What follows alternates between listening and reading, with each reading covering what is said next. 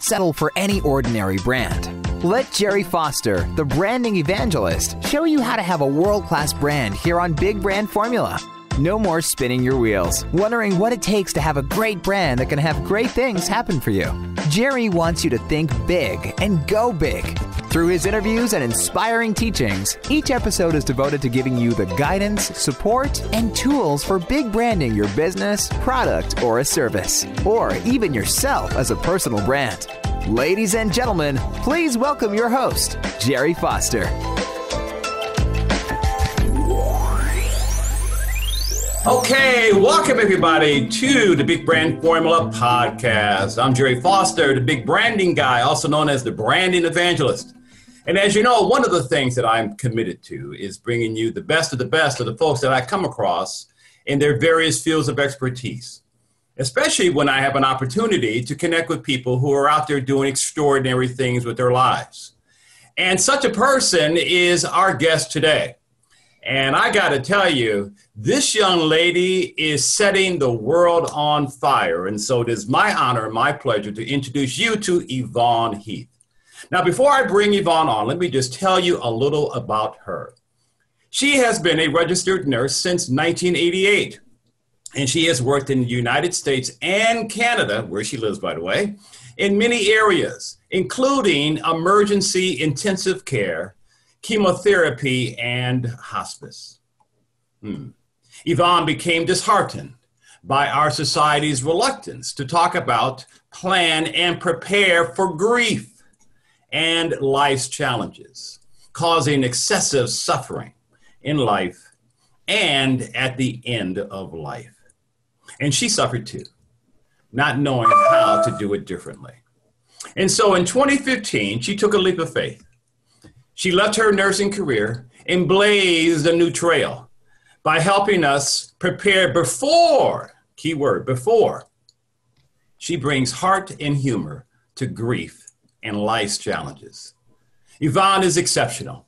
She shares her message as an inspirational speaker with her book, Love Your Life to Death, as a television and radio host and through social media. In 2019, Yvonne delivered her TEDx talk, Transforming Grief by Just Showing Up. I love that title. Married to her best friend, Jordy, and mother to three amazing children, they are sharing their message with the world and helping great organizations along the way. So please welcome Yvonne Heath. How you doing, Yvonne? Oh my goodness. After that introduction, I'm doing amazing. Thank you. I want to record that and, and share it with everyone. well, I tell you, I, I first have to commend you not only about the work that you do, but your colorful background because whenever I see someone who really has their brand visualize in such a way because it says a lot about yourself, right? Is there anything special about why you chose the background colors and everything? I mean, it's really, it's really great.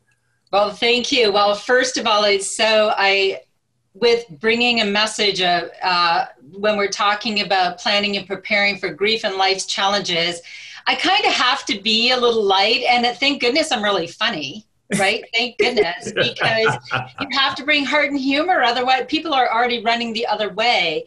And and so as I continue to, you know, I of course you have to leap out of your comfort zone when you have a, a message that you want to share with the world and you don't have that experience.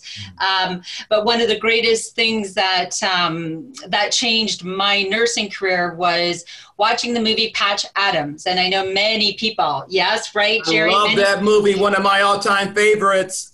And me too, absolutely. And uh, for those who don't know, Patch uh, is it's a movie. Um, Robin Williams, who lives in my heart forever, uh, played a doctor, Patch, who brought joy and clowning to people on their who were suffering the most on their worst day. And so that changed the trajectory of my nursing career. So i became that funny silly nurse who brought humor to chemotherapy and everywhere. It's already serious enough. Yeah. and uh, and most recently because one of the good things that happened in covid was my television show became we're doing it by skype. So i could interview people and I interviewed the real Patch Adams. Oh, and it was so extraordinary.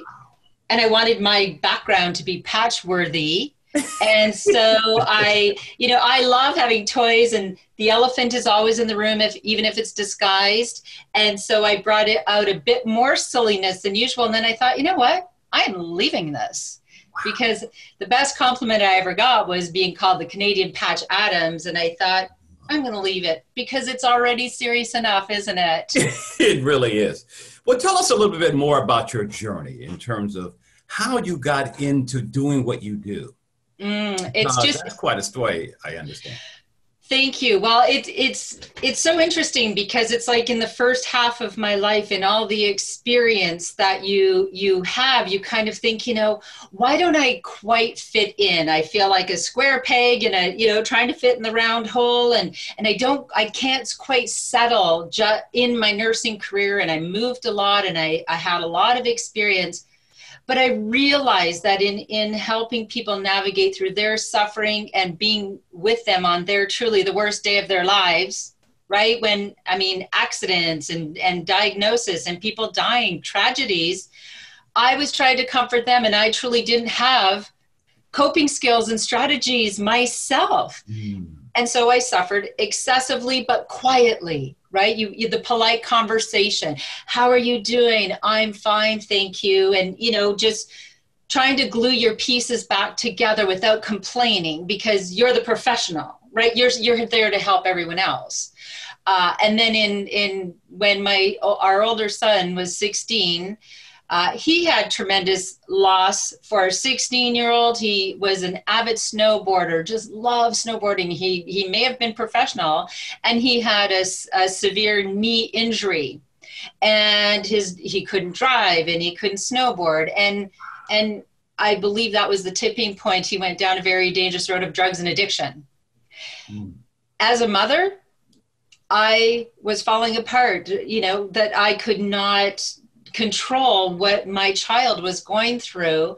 And I knew, I felt in my heart and soul that I would not survive a tragic ending. Thankfully, I did not have to. My son, he turned his life around. However, in that moment, I was falling apart. I was working as a nurse, pretending I was fine, but people were avoiding me because it was such a challenging oh, I don't know what to do. I don't know what to say. Ooh, Yvonne's son, and they're going through all this stuff. So people avoided me not because they weren't compassionate, because they didn't feel like they had the skills themselves. And so that it was either it was kind of like hitting that emotional rock bottom, Gerry, where I thought I either can stay down here and suffer or create change within my own life and help others do the same.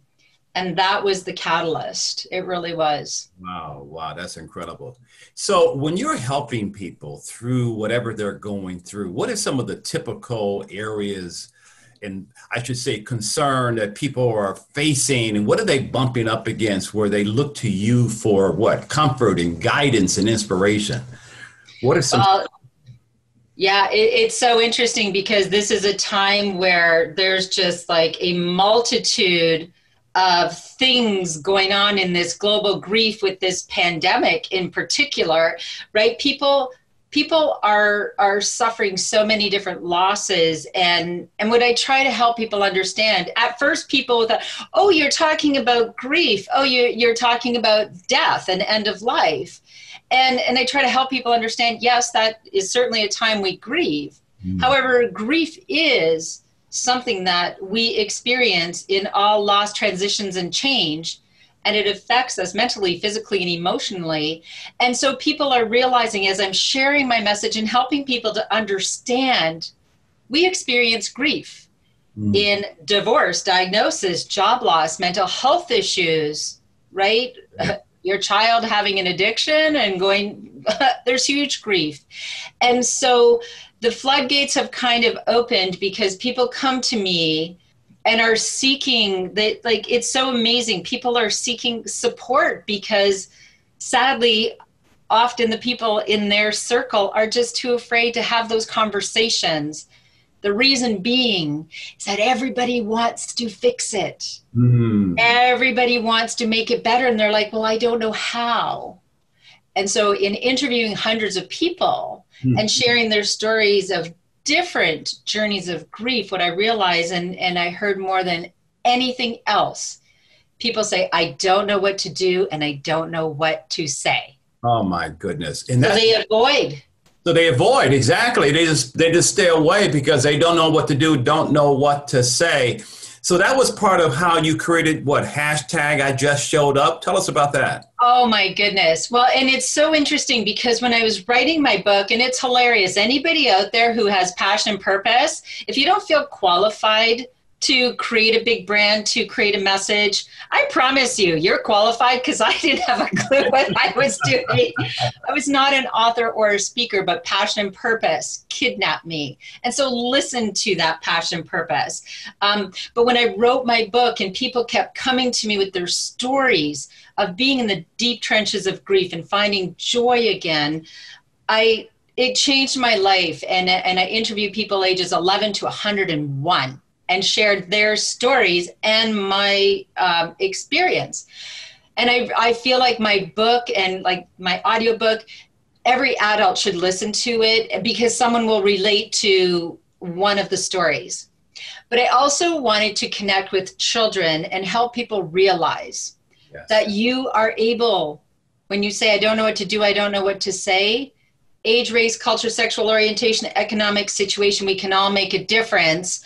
And so we created the movement, the I just showed up movement. Ah, right? And and I just showed up teaches people of all ages how to just show up for themselves and others so they are empowered and resilient when grief arrives.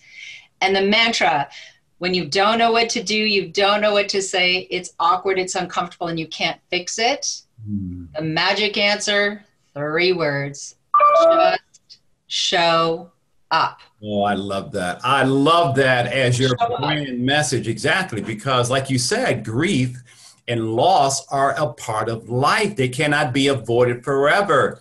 But as you put it, if we can learn to take good care of ourselves and each other, we can do what, Yvonne? We can get through it with less suffering, right? Absolutely. My mission is not about avoiding grief, it is about understanding and embracing and allowing grief and avoiding excessive suffering because we compound our suffering when we do not just show up for ourselves and just show up for each other. Yes. Right? We we and it and it is critical it is critical to step back. We are all in charge of our own happiness, our own coping skills, and our own strategies. And when we do take good care of ourselves and not make self care a buzzword, we can just show up for others. Exactly. Because, like you said, it's time for change. We can do better. And one of the things that struck me about your brand is that your your brand, the work that you're doing, is for everyone regardless of age, race, culture, sexual orientation, economic situation, ability, disability, right? You're teaching people of all ages and all types to do what? Just show up for themselves. Man, oh man, how, how, do, how do people respond to you because you're doing something that's very fresh? I've hmm. never heard of anybody else doing something like this, right? Which I love because I'm always preaching and teaching the importance of having what?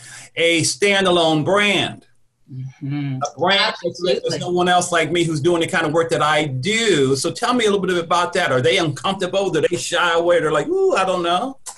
Do you know what's so funny is I kind of feel like the I just showed up movement. I, I kind of was sneaking in the back door so that we can prepare for grief, death, and dying. Because when I when I talk about death and dying, you see people, right? They're just running. I don't want to talk about this, right? And and so it's it's like a, a gentler way to say I understand. However, like you say, grief is a part of this journey. That means you have lived and you have loved and you have lost and life is messy. And and if we can talk about plan and prepare for grief, death and dying, we will have a better chance of getting through this journey we call life with less suffering. Mm-hmm. The beautiful thing, Gerry, about when you say like how do people respond? When I I teach children what how to just show up and they get it. It's simple just show up. I don't know what to say, but I'm here. That's really sad. Mm. This is uncomfortable. Uh, allowing your humanness, right? So I, it's like I let people off the hook. It is not your job to fix it. You can't fix grief, but you can love and support people along the way, and you don't need a PhD. Just show up in your messiness, mm. allow your humanness. Mm. You don't have to have the answers. And, it, and you're right, it doesn't matter what people are facing. The answer is always the same. Just show up for yourself first and just show up. My God. So you're not only inspiring people, you're empowering them. You're showing them how to tap into their own resilience, their own innate ability to get through anything, right? Regardless of what may be in front of them. How do you do that? Do you equip them with tips and tools? And, and is it mindset work? What exactly do you do? This brain of mine never stops spinning, Gerry. I have to tell you. the squirrel mind, the squirrel mind, right? I and and it's funny because I just love your questions and because you so get it and and in the culmination of my 27 years of nursing experience the last five and a half years of interviewing hundreds of people i came up with takeaways that I share with everyone. And I always say to people, you can follow me on my website and you get the seven takeaways with a brief description. I believe with all my heart and soul that those seven takeaways are truly the principles that you can, if you learn, follow, and teach by example, you can find the absolute keys to living life to the fullest, learning to grieve and support others and yes, maybe having that talk about end of life before it arrives and diffuse the fear. And then create more joy and happiness in your life. Then just get to living. but like you said, people can't fix it. So what can they do? Can you share some of those principles? Because I'm sure some of our listeners and viewers are wondering in the face of those types of, of challenges with grief and loss and all the things that come along with this thing called life, they're wondering what exactly can I do? Anything you can share right now in terms of some key tips and thought. Absolutely. Well, the first thing when when people don't know what to do and they just show up, what makes the biggest difference? Uh, and honestly, people we we underestimate and and undervalue kindness and just showing up with small gestures hug, text, well, hug, you know, virtual hug right now, but hug, text, email, call, sit silently, keep checking in with people, put it in your calendar, once a week i'm checking in how are you doing today if you're not comfortable with that help with the tasks of daily living because even in your in your trauma stress grief crisis the rest of life keeps going wow. so walk the dog cut the grass pick up kids bring food uh. those things where you just don't even feel like you can can do it. And here's a beautiful, I'll give you one little tip, and I know you're going to say, oh my goodness, that's gorgeous. One lady said when her dad died, she was so grief stricken, they were so close. And she had to go to his house. It was winter, and she had to go, you know, on whatever, sort things out. She got to her dad's house. She walked up, and the, the path and the stairs had been shoveled, and there was a little note that said, I shoveled the walkway in memory of your dad. Oh. it's that simple. She what? said she, she, it was beautiful. She's still talking about it 10 years later. Oh, God. So anyone can make a difference. Anyone can help and soothe the souls of someone else, right? I mean, my anyone. And, and, you know, the the simplicity. I always tell people that great brands are simple to understand. Right? People get it. Just show up. That's real clear. I love that. And so people. And so, how do you help people get past their own inhibitions around this whole thing called this is awkward. This is not me. I'm not the kind of person that's going to, you know, show up and and and hug and walk their dog and bring coffee. I don't want to cry with you. Oh my God. You know, can we just you know, can we chat? I mean, people have to get past their own, like you said, uncomfortableness, break through their own barriers so that they can indeed help someone get through their barriers. Oh my goodness. Two things so true. Don't wait for it to be comfortable because it's not. Come on. People people are waiting. They're like, "Oh, it's so uncomfortable." Say, "Yes, it is. Just show up anyway."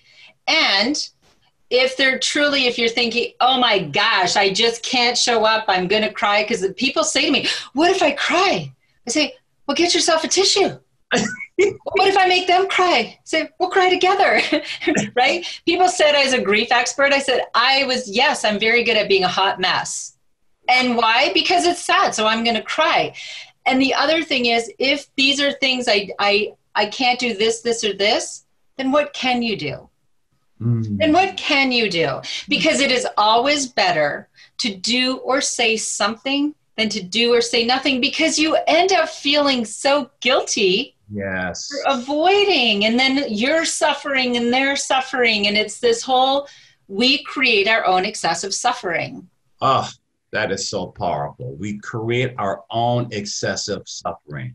We and you know it's interesting you should say that because i think part of human nature is we when we see someone going through a tough time because of grief or loss we want to give them their space right? We don't want to intrude. We don't want to invade into whatever's going on with them because we feel that's the polite thing to do what you're getting to is that it's okay because that person may be reaching out for that that that hug that touch that whatever However, they're not going to extend themselves. So we have to take it upon ourselves mm. to be a little assertive, right? Absolutely. And most people that I have talked to, they've shared their stories, is that their grief was so isolating Mm. And that compounded their suffering. And here's the other thing, and I, I tell people, I get we complicate this, right? We so complicate it. And I say, here's another thing. Are you ready? Get your pens. Ask. Ask. Ask. I a friend of mine, and here's a perfect scenario. A friend of mine divorced, had to move, leave her home, first as if that wasn't enough because co- grief shows no mercy right? Sometimes it's compounded. Um, first week she's in her new house she falls down the stairs and fractures her back. She's now on bed rest and she has two little kids. And talk about grief. That's tremendous complex grief. I went to her house and i said listen i'm here I'm going to do something. You know, I don't cook, so please don't ask me to cook anything. Let's get one of your neighbors to make you uh, some food. I Said, what can I do that would be the most helpful thing for you right now? I can't fix this, but what can I do? And she said, You know, there's something, but I don't want to ask. I said, I'm not leaving until you tell me, like, I need to feel better about myself and feel like I helped. So the, I just showed up. this is about me. So how are you going to help me feel good about this? And she said, A dog was in my backyard, ripped over the, open the garbage. It smells. It's awful. I can't get it. It's driving me crazy. I said, Say no more. I'm getting my rake. and I just showed up for her. Mm. Right? I cleaned up my daughter and I actually I brought my daughter because I teach my children that they can just show up and make a difference. We cleaned garbage in a backyard.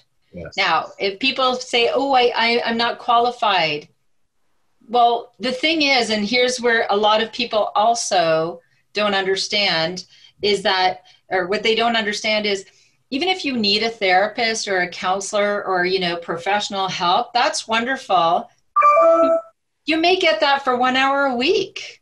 You may get that if you have, you know, someone is in the dying process or has a chronic illness. Maybe you have help a couple hours a day. There's 24 hours in a day. That's where you need your village. Yeah. That's where you need your family, friends, coworkers, neighbors, and caring people to just show up because any one of these grief journeys when we when we have a village and we connection is key when we just show up for each other we can be a part of that journey and then all the the burden isn't on one person trying to do everything mm. we can all do a little something about what do you say to the person who may be listening to this saying, oh my God, this is awesome. I wish I had heard this five years ago, whatever. What do you say to that person who is maybe now thinking, only I had shown up for her or him in the past, I didn't. And now I'm dealing with what? Feelings of tremendous guilt. guilt. What do you say to that person?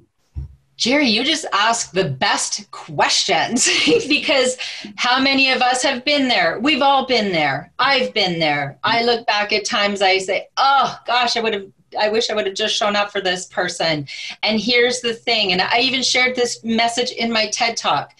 If you did not just show up for someone in the past, forgive yourself, grieve but grieve it, allow it, feel your feelings, forgive yourself and do better next time. And it is never too late to call and say, you know what? I am so sorry I didn't show up for you 10 years ago. This is kind of haunting me. I feel awful. I wish that I would have had the courage to just show up. This is what I would have done. I actually wrote that in my book when I when I I, I wrote about this boy who had cancer in grade 11 we all avoided like we didn't know what to do or say we avoided it and i said gosh i i would have done it so differently now you know with these skills so forgive yourself and do better next time and talk to the person reach out it's never too late to just show up oh my god that is so good what i one of the things that i've discovered through life is that there's three types of pain there is a pain from the past as we just talked about and then there's a pain in the present, which for many people is the most pressing thing, right? What's going on right now, right? And then there's the pain of the future. And that's when someone is dealing with a person who, let's say, is dying, mm-hmm. right? Because there's that there's that pain associated with what's coming, that fear of this impending outcome so how do you how do you help that person navigate between the past, the present, and the future?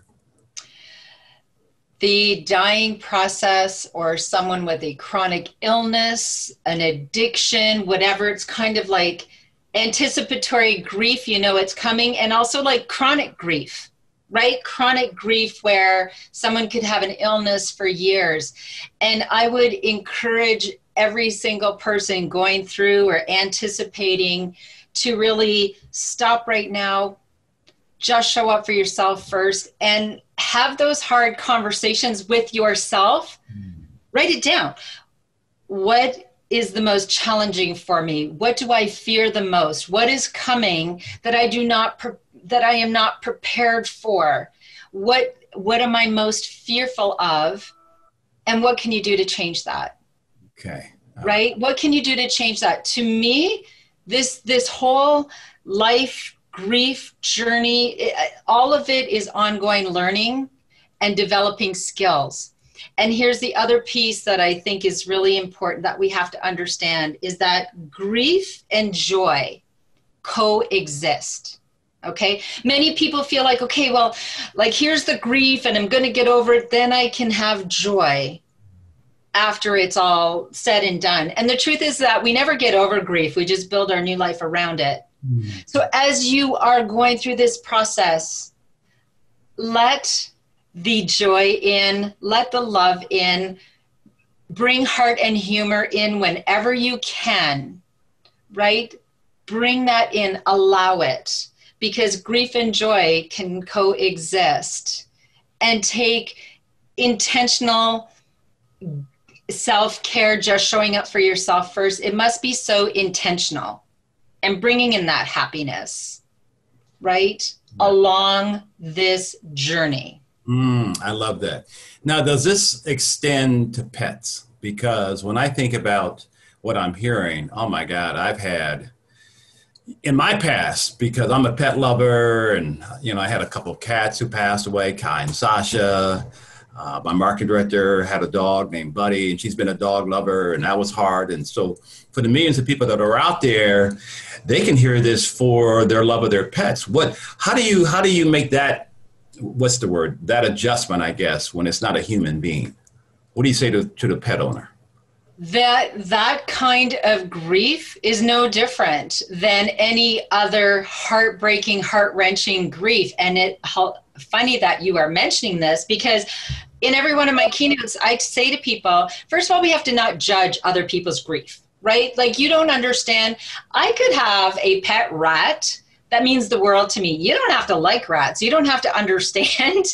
And when you talk about being a cat lover, when I was a single parent, I I got I did the old oh we're just going to go to the um, um, SPCA and we're just going to look with my older son. Isn't that hilarious? Of course, we ended up with a kitten, and that cat was there for me for 16 years, and that cat was a very important part of our journey. So when our cat died and when our, our pets have died, it was a tremendous loss. It is excruciating grief, and so the first thing I say to everyone around even if you don't understand someone grieving an animal, just we don't need to judge people's grief. When I wrote my book, our pug was dying. And I sat there and said, Oh my gosh, I am writing this book about living well, grieving well, dying well, and I am falling apart. I am falling apart. So, love, love, love your pets and know. I think it's very important to know that you can love another pet again. I've heard people say, I'll never love another dog. My dog was the only one. And again, allowing that that joy to come in and allow your grief because our animals are part of, parts of our family. They are as in, they are important members of our family. And to love them, love them, love them. I've heard people say, if my dog dies, and I said, okay, so we need to choose our language. It, language is important. I said, that is a when, not if. We are all a when, not an if, right? like, let's, we, we try to push it away. When your dog dies, and I feel like it's important to know okay so i have this kind of dog. We just we just adopted a rescue. She is a wheaten poodle terrier mix. The first thing i did was she's this age. How long can we anticipate having her so that we prepare our hearts, right, for what is coming? But isn't it so wonderful to love pets and allow them in our hearts and know that when your pet dies, you'll have a little scar? I, I told my kids, my kids have been a part of this journey. They held our cat until her final breath. They held our dog, our pug. We allow our tremendous grief together and we sobbed and we grieved. And I teach my children and I learn that your heart feels so broken like it will never heal. And then there'll be a little Frankie scar. And with each person that dies or pet, there will be a little scar and your, he- your heart will heal. Battered, scarred, and never the same, but it will heal if we learn to take better care of ourselves and each other and let love back in. I appreciate that. I think you just helped me because I've never, um, I don't think I've ever forgiven myself. Okay, Gerry, we're going to have to talk. We have to have the talk. Yeah, that, that, you know, because I, I related to what you just said because I remember taking her to the vet when um, I had to say goodbye to her. So, Yeah. Thank you. And just so you know, I have to make at least one person a day cry. So, I mean, you know, if you have tears, thank you, because then I can check off for today. Um, do you know, and I will help you, when our black lab, our, our beautiful Kuba, he, could, he was having trouble walking. He had these big tumors. He was a mess. And it that was after I read my wrote my book and you know I'm the grief expert. I said no nobody's an expert at this. It's challenging for everyone. I had to call the vet and I was hysterical. I was hysterical on the phone. I don't want to murder my dog. I was like, I can't just murder my dog because he has tumors and I was a disaster. Oh my God. It's never easy. It's right. never easy. And they were so consoling. They said, Is your dog enjoying the things in life that he used to? And I said, No, he is not. Is he able to catch a ball and eat? And I said, No, he is not. And then she said, Then I think you know your answer. I said, I know I do. I'm just really sad. it's hard. But it's hard. What you're getting to, which is really good, is within this whole conversation of grief and loss, what's coming up for me is the question that I think we end up asking ourselves could I have done something? Oh. You know? And then Absolutely. And, and, and there's another word that it could be better or different or whatever, right? Could I have done something? And that and that that adds to the grief.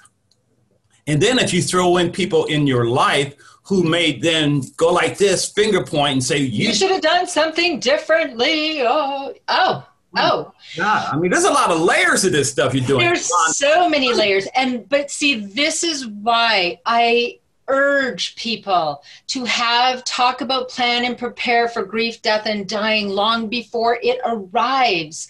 Long before it arrives. This happens with family members when they're dying and everyone has a different idea about what should happen. And families are fractured beyond repair because mom wanted to be buried. No we should have she was cremated. Why did you do that? You don't get that money. Why do you get that ring and people at a time we should be grieving and loving and supporting one another are feuding over a blunder are feuding over a house. Mm.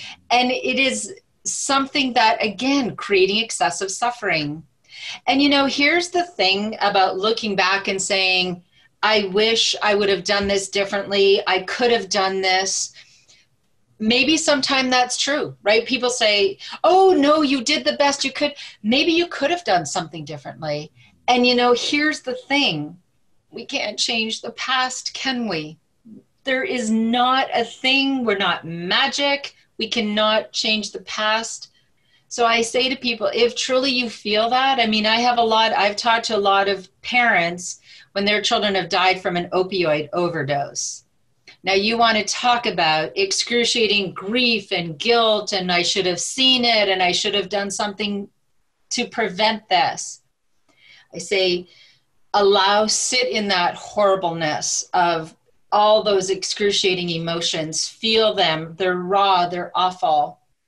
And then we can move forward and say, yes, I wish I would have done this, and now I'm going to do something differently.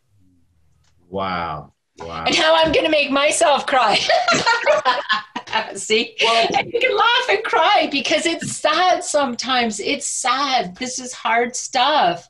And that's okay. Yeah. It's okay. Because it opens up wounds. It opens oh. up stuff from God knows how many years back people have tried to put underneath a rug or put a band-aid over it yeah you know, it's a lumpy rug gerry it's a lumpy rug it's a lumpy rug and so i'm you know I, i'm not trying to laugh but you have to laugh. Oh, you gotta laugh. Almost 20 years. I mean, my poor little cat, you know. Your poor cat, 20 years, and you still haven't forgiven yourself. Gerry, jeez.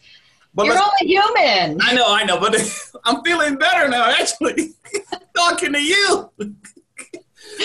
there, I've done what I meant to do. It's actually a great segue into the other thing I want to acknowledge you about that I want to hear you share something about, which is you're creating a movement. You're creating a whole culture of change Tell us about the I Just Showed Up community because you believe that together we can create a culture of change. Share about that, please. Absolutely. The truth when, yes, this is, I haven't taken on anything light, that's for sure when we're talking about a movement and a global movement, we need to create social change where we talk about plan and prepare before, where we allow grief, understand that grief and joy coexist. We can bring heart and humor. We need different perspectives, different stories. Everyone has different experience.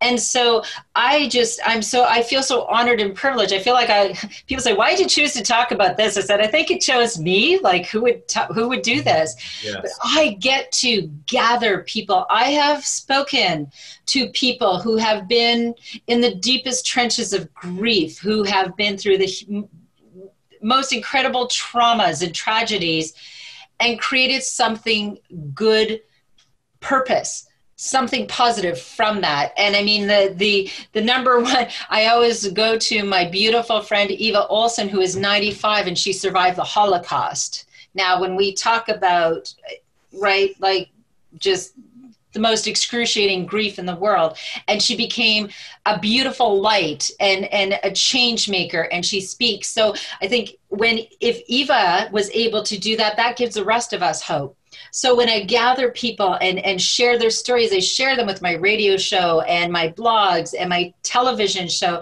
and in my book. And I get to do this. And the other thing, so with um, the other, with Love Your Life to Death, I just want it to be this community and this I just showed up movement where anyone can come to. We can all just show up for each other and learn from one another, mm-hmm. right? And I'm continue, I've created resources for people to who everybody learns in different ways and and depending on what you're going through so i have my book and my audio book and my program get ready for grief eh, so that people have different things that will help them along this way. And always very coachable which is why it's wonderful to connect to like experts like yourself because when you are creating a big global brand you need to you need to be open to learning and okay this is bigger than me. This is more important than my own ego or how i think things should be and that's that's when i know i am i am ready and creating social change and i didn't even know a global pandemic was coming when i started this and that is global grief isn't it Oh my God. Literally affecting every person in this world. Incredible. I mean, everyone is grieving something. It's it's unbelievable. So we really need to connect in a very meaningful way and have a positive impact, raise the vibration and really connect intentionally and help each other just show up for each other now more than ever. Oh my goodness. Well, that is a, a great way to to close this conversation. And there is an expression which is many are called, but few are chosen. And you clearly have been mm. chosen to do this work. And thank you. The lives of many have been entrusted with you. And so I salute you for that. And Godspeed for what you were doing. And you mentioned the pandemic you must be one busy person right now because there's a whole lot of loss and grief. What's going on? Oh my there God. is, and and again, when I say to everyone, when they say, "What can I do?" Just show up. Just show up. Keep shining your light, and if your light is dim, if you are struggling, reach out to someone else and say, and "Can help here?" You got the little bracelets, right? I just showed up bracelet. Do you have one on?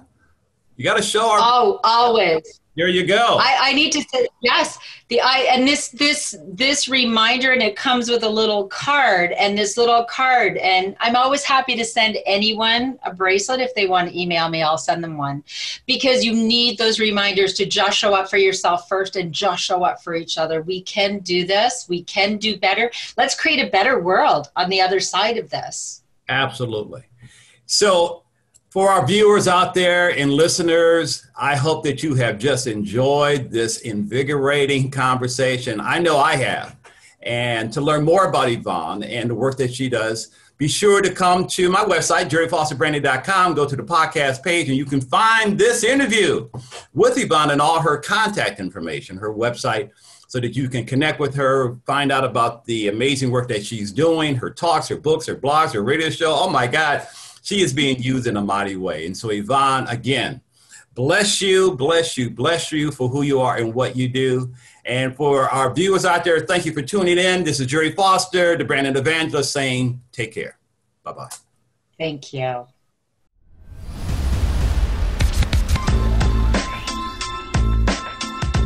Don't settle for any ordinary brand.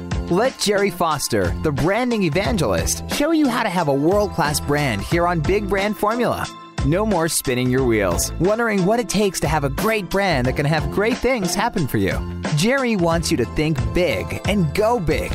Through his interviews and inspiring teachings, each episode is devoted to giving you the guidance, support, and tools for big branding your business, product, or a service, or even yourself as a personal brand. Ladies and gentlemen, please welcome your host, Gerry Foster.